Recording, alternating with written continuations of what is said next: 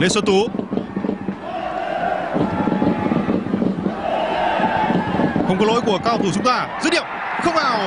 Cơ hội nguy hiểm đầu tiên được U22 Việt Nam tạo ra trong trận đấu này.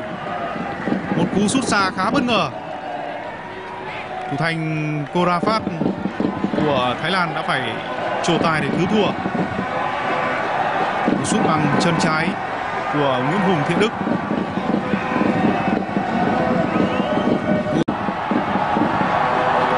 Tốc độ của Thiện Đức.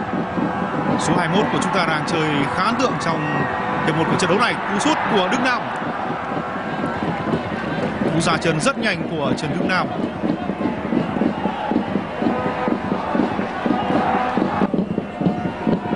Đường truyền rất chính xác, không hề việt vị. Cơ hội dứt điểm không bao! Quá đáng tiếc. Một tình huống phối hợp rất đáng chú ý của U22 Việt Nam và người dứt điểm là Đức Nam. Trong một tư thế rất thoải mái. Và thủ môn của đội bạn cũng đã đứng trộn chân. Nhưng đáng tiếc là cú sút của Đức Nam lại đi không chính xác.